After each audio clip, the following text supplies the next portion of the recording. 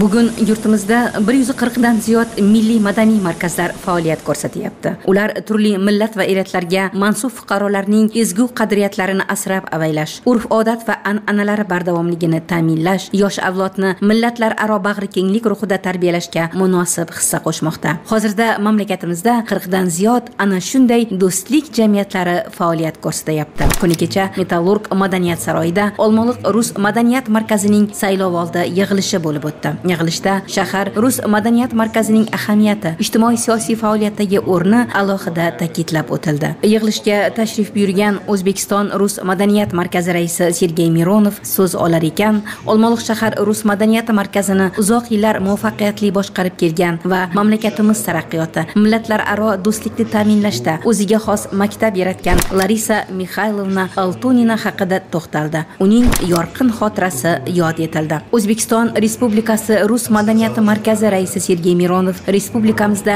madaniyat markazlari faoliyatiga hukumatimiz va shaxsan shavkat miromonovich mirziyoyev tomonidan katta e'tibor qaratilayotgani va madaniyat markazlari har tomonlama qo'llab quvvatlanib kelinayotganiga to'xtalib o'tdi. Ma'lumki 30 iyul kuni butun o'lkamizda xalqlar do'stligi kuni nishonlanadi. Ushbu sana munosabati bilan joriy yilda yurtimizning barcha aholi punktlarida keng qamrovli millatlararo do'stlik bag'rikenglik va qardoshlik bayramlari tantanalar tashkil etilishi va xalqlar do'stligi haftaligi o'tkazilishi belgilangan. Saylovoldi yig'ilishi kun tartibiga qo'yilgan muhim masala ya'ni madaniyat markazi raisini saylash jarayoni bo'lib o'tdi. Yig'ilishda metallurg madaniyat saroyi xoreografi edelveys milliy akademik teatri rahbari yuliya yuryevna kaldakova olmaliq rus madaniyati markazi raisi etib saylandi. Yuliya kaldakova olmaliq shahar rus madaniyati markazining kelgusi faoliyati haqida o'z fikr mulohazalarini bildirar ekan. Eng avvalo xalqlar aro do'stlik birdamlik vatan ravnaqi yo'lida jipslashib mehnat qilib ilm olish rus madaniyati markazining yurt ravnaqiga munosib ulush qo'shishiga